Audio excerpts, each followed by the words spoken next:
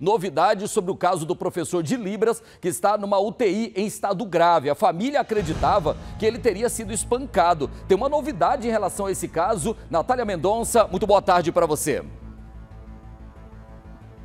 Oi, Oloares, boa tarde para você. A primeira informação que eu trago é o estado de saúde do Luiz Pereira de França Júnior, que é esse professor de Libras, surdo, que até então a família acreditava realmente que ele tinha sido espancado. Ele foi levado lá para o Hugo. A situação dele no momento, de acordo com o hospital, é que ele foi admitido na emergência com trauma crânioencefálico, depois transferido para a UTI, onde ele ainda permanece sedado e entubado, e o estado geral de saúde dele continua sendo grave. Eu estou aqui com o delegado delegado responsável pela investigação do que realmente aconteceu nesse dia, que foi o dia 3 agora do mês de dezembro, o delegado Paulo Ribeiro. Delegado, o próprio Loares falou que até então a família mesmo acreditava que ele tinha sido espancado para ser roubado. O que, que a polícia já sabe do que teria acontecido nesse dia em que ele foi agredido ou que ele ficou muito machucado? Boa tarde. Boa tarde.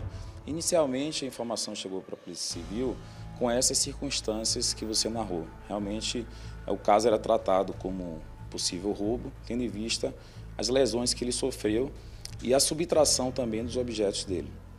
É, a gente fez um mapeamento do cartão de crédito que foi subtraído e das compras realizadas com o mesmo, e a gente conseguiu deter uma pessoa e essa pessoa confessou que quando chegou no local, o Luiz estava caído, é, já, com, já com corte no, no rosto, e ele tentou ajudar e depois, posteriormente, ele subtraiu esse, esse cartão para efetuar algumas compras. É, essa, essa informação que ele prestou foi confirmada parcialmente com testemunhas do local né, que, que viram o Luiz chegando sozinho e caindo por pelo menos três vezes, é, e depois outros moradores de rua se aproximando é, perto do corpo, numa atitude ali de subtrair pertences dele. Existem algumas imagens que mostram, inclusive, o Luiz numa distribuidora, um local que vende bebidas ali, bebendo. O que, que, a família fala a respeito disso? Ele tinha esse hábito de beber? E outra, esses ferimentos podem ter sido causados não por uma agressão, mas por causa dessas quedas? É, sobre o hábito é, de bebida dele, familiares e amigos informaram à polícia que ele não tinha esse hábito, pelo menos eles não conheciam esse hábito. Outras pessoas que a gente ouviu, é, moradores de rua e donos de distribuidora aqui da região, já contraditaram essa informação. Falaram que ele bebia é, com frequência aqui na região.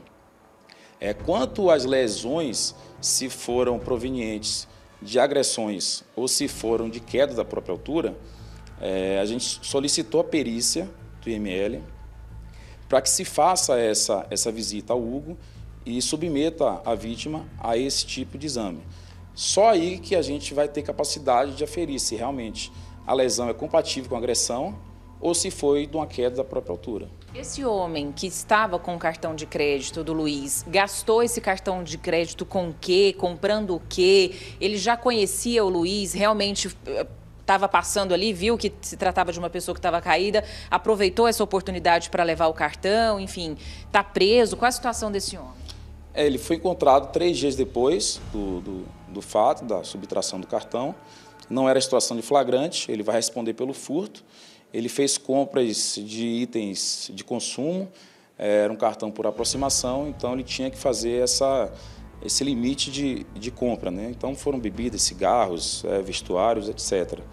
É, ele responderá por esse furto, como eu disse, e ele se aproveitou de uma situação de vulnerabilidade da vítima, ele conhecia ela já de outra situação é, que, eles, que eles tinham se conhecido, e ele se aproveitou daquela situação para subtrair o, o, cartão de crédito. Agora, os próximos passos é justamente isso que você já disse, é esperar esse exame que deve ser feito dentro do próprio Hugo, já que ele está sedado, né, entubado, não consegue sair dali para poder fazer o exame, para que a polícia possa comprovar realmente de onde vieram esses ferimentos e chegar a um resultado final. Perfeito. Esse exame de corpo de delito itinerante, é, se ele não for possível, né, tendo em vista aí a, a, o estado de saúde dele, o ML faz um, um laudo pericial indireto, que é com relatório médico é, diário do paciente, eles fazem ali uma análise se realmente aquela, aquela lesão foi provocada por um objeto contundente ou se foi um acidente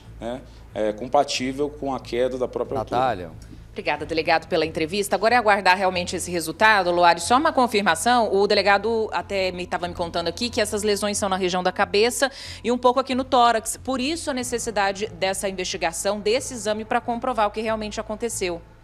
A, a, Natália, a, algumas pessoas chegaram a especular que esse professor poderia, ser, poderia ter sido dopado né? Ou seja, deram alguma coisa na bebida para ele, é, para que ele perdesse a consciência ali, pessoas que estavam com ele. Ele estava acompanhado de alguém? A polícia é, tem essa, essa suspeita também ou não? O Loar está dizendo que na época em que tudo aconteceu, muitas pessoas suspeitaram de que ele tivesse uh, sido dopado, né? Porque muita gente fala que viu ele cambaleando e caindo. Mas o senhor acredita que isso aconteceu ou que isso é o resultado de uma agressão que ele sofreu há 10 anos atrás e que ainda tem, tem sequelas? Então, a Polícia Civil não crê nessa primeira hipótese, porque a própria família falou que ele foi vítima de uma agressão há 10 anos, uma agressão também é, contundente que causou sequelas de locomoção nele. Então ele tinha dificuldade é, no caminhar. É, além disso, é, como ele não tinha hábito, segundo familiares, de beber, e naquele dia ele ingeriu muito bebida alcoólica, então as duas coisas é, formaram ali uma, uma, uma, tempestade perfeita, vamos dizer assim, para que aqueles acidentes tivessem ocorrido. É, vale acrescentar que a gente tem a imagem apenas da câmera da distribuidora, né, onde ele estava bebendo, e aí ele já sai cambaleando, e a gente não crê que, que tenha, tenha sido colocado nenhum tipo de, de, de substância para entorpecer ele. E nem de que alguém o convenceu a beber demais, já que ele não tinha esse hábito de beber? É, e são circunstâncias que a Polícia Civil ainda está levantando. É, se ele foi instigado por alguém né, para diminuir a resistência dele, causar ainda mais a vulnerabilidade, ou se foi uma coisa, foi, foi uma, um livre-arbítrio dele decidiu ingerir bebida alcoólica. É, no ponto onde ele foi socorrido, onde ele, onde ele cai desmaiado, tem uma câmera, é, é uma câmera de detecção, e ela, ela, não, ela não, não flagra toda a dinâmica do, do fato, mas ele mostra ele chegando naquele, naquelas imediações, também cambaleando e caindo. Né? É, nos fazendo crer que realmente o que aconteceu com as lesões provocadas, infelizmente, nele foi, foram essas quedas. É. O delegado reforça, inclusive, isso que a família já dizia, né, Loares? Há 10 anos atrás ele sofreu uma agressão muito parecida com essa de agora, ficou com, les... Eh, com sequelas muito graves, andava até mancando um pouquinho, e o fato de ter ingerido bebida alcoólica nesse dia pode ter agravado essa situação, por isso ali cambaleando, batendo a cabeça e se machucando. É justamente isso que esse exame vai mostrar, se foi realmente, se esses ferimentos foram causados por causa dessas quedas da própria altura ali, desmaios e tudo mais, ou se ele foi realmente agredido.